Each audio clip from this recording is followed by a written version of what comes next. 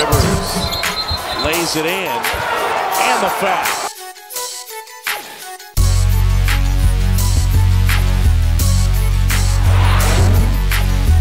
At the power forward and center position. Toss inside, throws it down.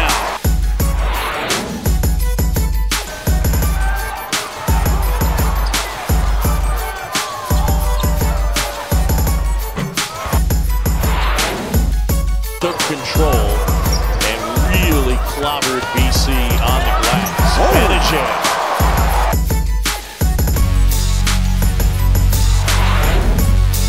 There's that play. Rivers.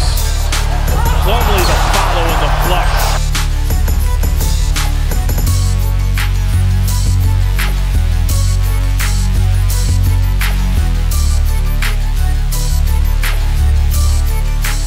It was a good win for us. Uh, I thought we played hard.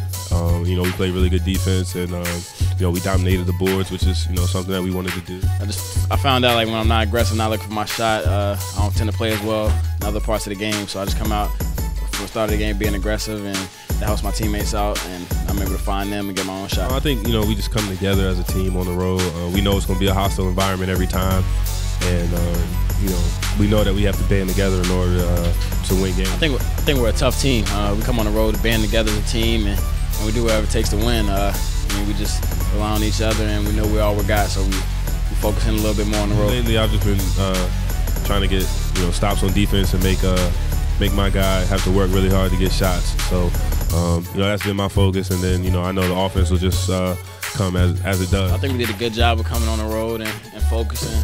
Uh, I mean, it wasn't a, a typical game or with the environment we're used to, but we came out focused and ready to play, and we got the win.